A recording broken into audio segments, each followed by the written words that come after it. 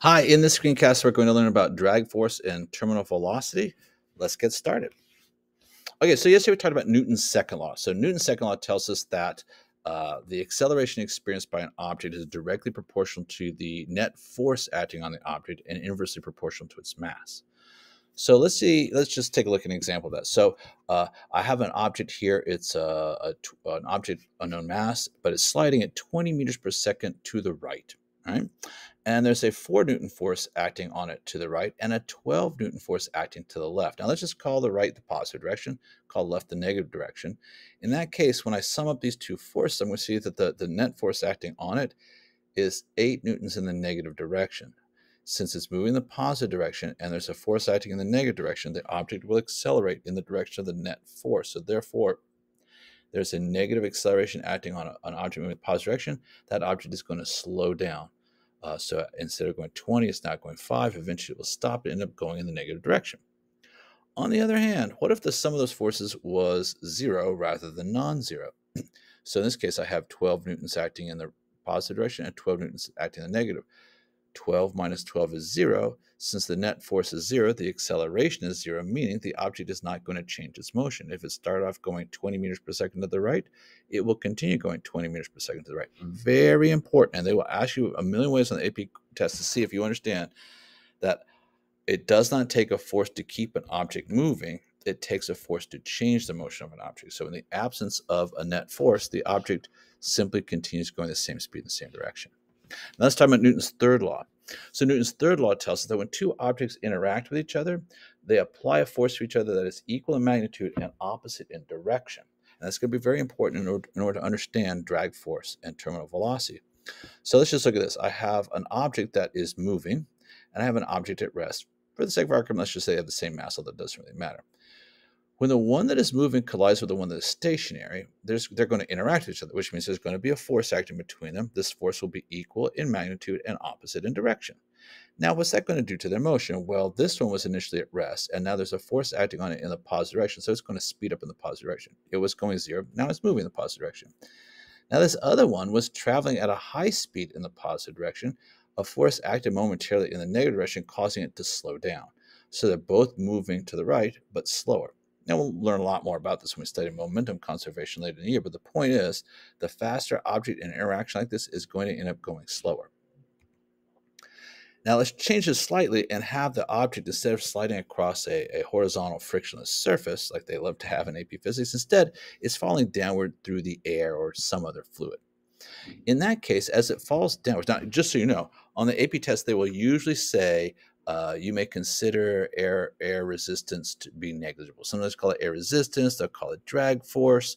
They'll call it air friction. Bottom line, so usually say it's negligible. Don't worry about it. But every once in a while, they'll say, and and air resistance is non-negligible. That means you do need to think about how it's going to affect the motion of the object. So let's think about this. This object is falling down. It's going to collide with particles of air just like in the last slide, when I collide them, the objects that were initially at rest, these air molecules are going to get pushed downwards with a certain amount of force. That same force is going to act upwards on this object, causing it to, to slow down. Now, keep in mind, there's two different forces acting on it. There's the eh, the gravitation, the mg pulling down this, and then there's the, the collisional force pushing upward on this. So let's just try this. I've got an object of 400, like a 40 kilogram object. So it's being pulled down by gravity 400 newtons. I let it go. The inside I let it go, its velocity is zero. And since it's not moving through the air, it's not hitting any particles. So the drag force acting on it is zero. So there's only one force acting on it, gravitation, mg. So of 400 newtons acting on a 40 kilogram object will make it accelerate at g, 10 meters per second squared. Now I check in on a little bit later, this object is now traveling 20 meters per second in the downward direction. That means as it falls down, it's bumping into a bunch of particles, and each one of those puts an upward force on it. So now there is a net drag force acting on it, and that drag force is 25 newtons.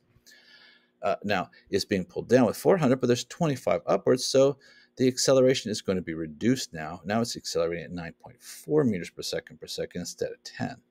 Well, it just keeps falling faster and faster. Now it's going 40 meters per second. Now it's going to bump into a lot more molecules. And it bumps into more molecules, they're going to put even more force on it in the upward direction. Uh, and and now it's it's only accelerating at 7.5. And I think you can see where this is going. If it falls fast enough, this value is going to go to zero. So the idea is when a, an object falls fast enough, it reaches what we call terminal velocity. Terminal velocity means the fastest this object can fall through that fluid because at that velocity, the upward force of air friction or air drag or air resistance, whatever you want to call it, is equal to the downward force of gravity on that object. So since those two forces, mg downwards and drag force upward, are equal to each other, the net force is zero. And remember, when the net force is zero, what don't you do? You don't accelerate it will continue to fall downwards, in this case at 80 meters per second, until some force on it changes. Now, terminal velocity, we'll, we'll denote it here by v sub t. Uh, and this is definitely, you do not need to know any equations about it. You don't even need to know this relationship specifically unless they set you up in it with, with some background on it. So it's nothing you need to add to your memory cells here. But just think about this. What are the things that are going to affect how fast an object has to be going in order to end up with a net drag force upward equal to its downward uh, gravitational force? Well, it's going to do with the mass of the object. The more massive an object is, the higher its terminal velocity will be. So just so you know, for a human being, just if you just jumped out of an airplane, oops, I forgot my parachute, your terminal velocity is about 60 meters per second. If an elephant did the same thing, it would probably have a terminal velocity maybe a little bit higher than that. Okay, so that's one thing.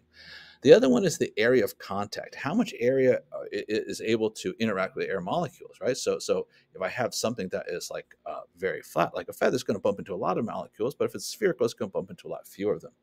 And the other one is the density of the fluid to which you're moving, the air density. So if it's dense air, there's lots of particles, so there's there's more interactions occurring and more force upward being generated. Uh, so if you think about those all together, what you feel, what you realize is well, the reason that feathers uh, have a lower terminal velocity than rocks is because they have a smaller mass. It takes less force to, to, to stop them from accelerating. They have a lot of surface area, so they bump into a lot of molecules.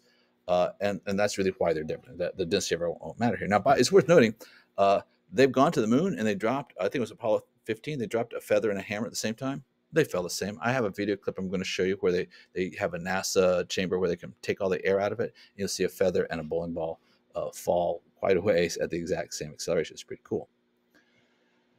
Okay, so let's talk about people now. So once again, a person who is falling without a parachute on will typically uh, continue to accelerate until they reach a terminal velocity of 60 meters per second, at which point the mg downwards on their body is equal to the drag force upwards. Since the net force is zero at that velocity of 60, then they won't accelerate anymore and they will stay at 60. Now, of course, you can change. So the skydivers, they, they can turn their bodies sideways, like kind of like that feather, and arch their back, in which case they're interacting with more molecules and then they'll fall slower than 60. Or if they go into a steep dive and point themselves and really work at it, they can go faster. But I'm just saying, a typical person just falling without really thinking about what they're doing, it's going to be about 60 meters per second, which, by the way, several people have eh, documented cases have survived hitting the ground at 60 meters per second. It's not 100% fatal, but you don't want to try it.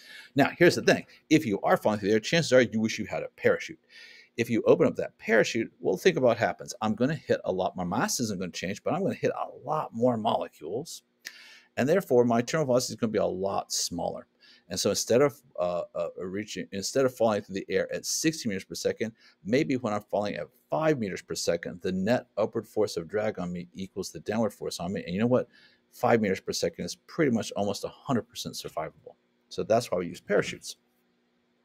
All right, so let's try this. I got to keep my eye on it. I don't want to miss the bus. Okay, so here you go. Person jumps out of the airplane. The moment they jump out, their downward velocity is zero they let's say it's a 60 kilogram person, so they're being pulled down. So it's 600 newtons downward. That's the net force on them because there's only gravitation. So they're going to speed up at 10 meters per second squared, just like we always talk about. But if we check in on that person after they've been falling a little bit, now the person is going 30 meters per second. Well, they're going 30 meters per second. They're bumping into a bunch of air molecules. So there's a, there's an upward force as well as a downward mg force. So instead of being a net downward of 600, now there's a net downward of only 200. You're still going to pick up speed because there's a downward force acting on you while you move downwards. But now you're only speeding up at 3 meters per second squared instead of 10. I check on you a little bit later and look at this. Uh, Mirable, you're going 60 meters per second the net force on you is zero because the drag force upward is equal to the gravitational force downward. So you stop accelerating and you will just continue to fall at 60 meters per second until something happens like you hit the ground or you open up your parachute. Now, when you open up your parachute, sometimes you will look at movies, you get the sense that maybe the person instantly starts moving upwards. They do not. They never stop moving downwards. However, as soon as this parachute opens, this person is going much faster than their new terminal velocity because they're bumping into a whole mess of molecules. So, the, it, but they're going very fast, right? So at 60, they were going enough to have a net of zero. Now they're going the same speed, but they're hitting all these molecules. So the net upward force far exceeds the downward force. So our net force is 1200 in the upward direction. They're moving down, the net force is up. So what do they do? They slow down. And it takes time to slow down. That's why if you pull your parachute right before you hit the ground, it's not going to do much good. It takes time to slow you back down to your new terminal velocity, which we see here is five meters per second. Now, what happens is eventually that upward force, as you fall slower and slower, it will get smaller. It goes from 1200 to 1500. So you get slower and slower and slower. And eventually, when you get to about five meters per second, the upward force of bumping all these molecules is equal to the downward force of gravity, and you no longer accelerate. Last thing here. This comes out of the AP test a lot. And it's a cool question. Okay, let's think about this. So let's just say uh, that I just throw an object upwards and air resistance is negligible. Well, that tells me that if I throw up at 30, it's going to go up for three seconds, right? Because acceleration equals delta V over T. Okay, so so 0 minus 30 over negative 10 gives me three seconds. It's going to go up for three seconds, and it's going to come back down for three seconds. So the time up equal the time down. On the other hand, if air resistance is significant, here's what's going to happen. It's going to travel up for less time than it travels down. Why? Well, because there's a greater force acting in the downward direction when you're moving up and a smaller net force acting on you when you're moving in the downward direction. Let's see why. When the object is moving upwards, my little line showing that it's moving upwards, what I find is that I have both mg, I have in both cases, but the drag force is pointing in the downward direction. So the sum of these two gives me a larger value. So the net force is mg plus the drag force. So it's more than so so so it's more than mg. So my acceleration is greater than g. I'm slowing down more rapid than I would if there was no air friction. It makes sense. I'm bumping into molecules that are pushing down on me, slow, you know, cause me to slow down at a greater rate.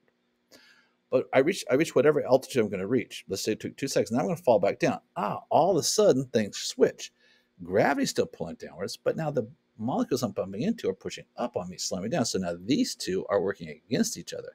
So now the net force is mg minus drag force. And now the acceleration I experience is less than what g is. All right. So it's going to take longer. I, I have to travel the same distance I went up. I got to come back down the same distance, but I'm accelerating slower. So of course it's going to take me longer. It's counterintuitive, but it's a very cool question they like to ask on the test. Thanks for watching this. I'm going to make my bus.